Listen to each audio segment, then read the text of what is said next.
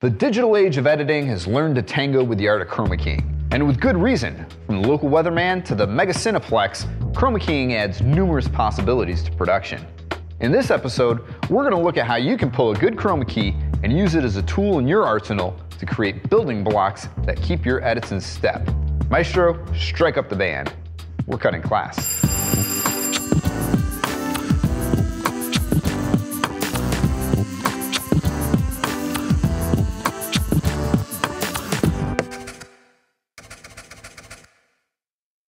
I have to be honest. Pulling a good key isn't necessarily an easy thing to do, but that shouldn't scare you away from it. With a little forethought and planning, you can set yourself up for chroma key success. Today, we're going to look at the basics of pulling a key and how the byproducts of that keyed image can set us up to make some really cool looking stuff. A little more info on the subject, let's check out this. This week on the Alpha Channel, absolutely nothing. Just kidding. It's green screen week. How does that work? Green screens allow us to select a specific part of an image based on its color information and change it to transparent. That's how we save our rocket from the hardships of space travel. All right, gotta love that Alpha channel.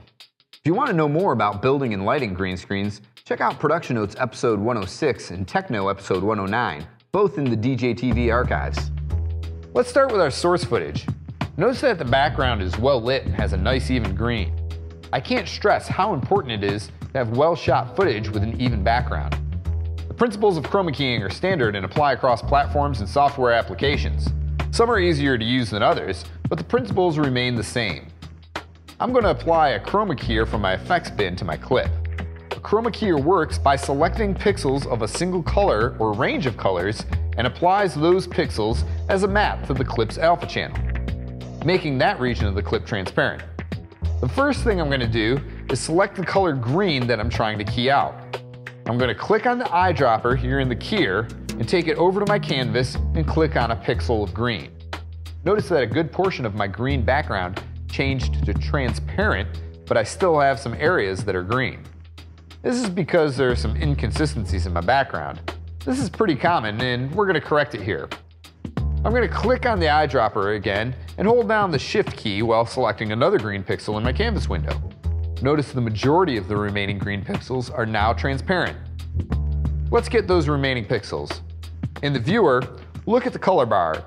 The buttons on top of the bar select the range of color that I want to key, while the buttons on the bottom of the bar set the softness or the tolerance of that range. I'm going to expand these ranges out just a little too far and I'm losing part of my subject. Also, check out your key across several frames of your image. As your subject moves, the lighting on them will change, and if there is any motion blur, the edge of your matte will change.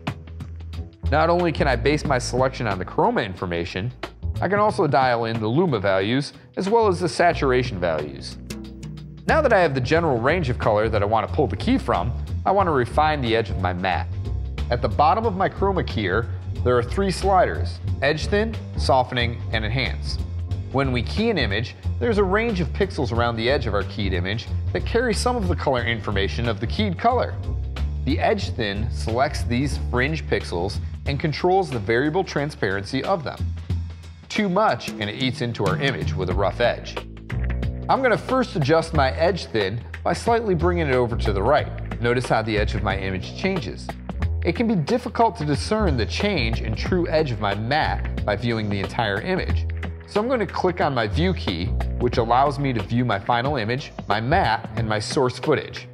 Here I'm looking at my matte and I can get a better idea of how clean the edge of my matte is. Next I'm going to soften the edge, just a hair by bringing up the slider here. Softening feathers of the matte created by our key. I'm viewing my final result here, Notice if I go too far, I get a big green halo, and my figure doesn't blend in. Now that I have my edge where I want it, I'm going to enhance the edge to get any traces of green out. Enhance alters the color of the fringe pixels in the opposite direction of our keyed color. The right amount and the pixels become a neutral gray. Too much and a slight green fringe becomes a bright purple border. Remember, subtlety is the name of the game here, So bring this up just a smidgen so it removes most of the color. The image still has a green spill in it that's not around the edges, but in the figure. We're going to take care of that by adding a spill suppressor filter. This allows us to desaturate and blend away any green hue spills from the reflection of the floor and walls onto our figure. Always add this after you chroma key. Otherwise, it will alter the green part of the image that you want to keep. With our figure keyed, we can place them on any sort of a background, allowing them to better fit into our production. But chroma keying can do so much more for us than highlight backgrounds. Because when we key, we don't only get the cutout image, we get the alpha channeled matte from our key, and with it, there's a lot we can do. We'll go over this real quick so we can get the concept of what we're doing. We're going to take our keyed footage and the corresponding alpha mattes to make a stylized piece of footage. We're going to bring our green screen footage into After Effects and key it. The principles of chroma keying are the same in whatever program you use. We're going to open up a new composition and drop a clip down that will be the backplate or foundation of our background. I want to duplicate that layer several times. I'm going to select one of my duplicates and place my chroma keyed footage on top of it and set keys to scale and move the chroma keyed footage.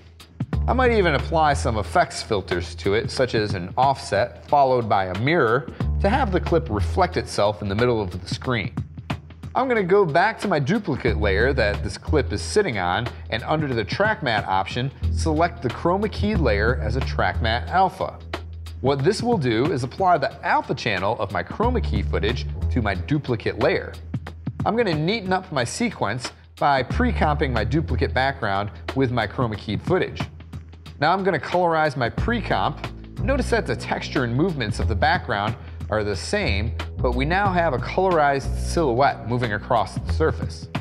I'm going to repeat this process several times with the rest of my footage and duplicates, giving some different takes on color, and we'll end up with a fancy background plate that we can drop behind some of our original chroma keyed footage. Let's give a stylized treatment to that footage, playing with the luminance levels and colorizing it, and there we go. A highly stylized piece that packs a little more punch than a figure keyed over a simple background.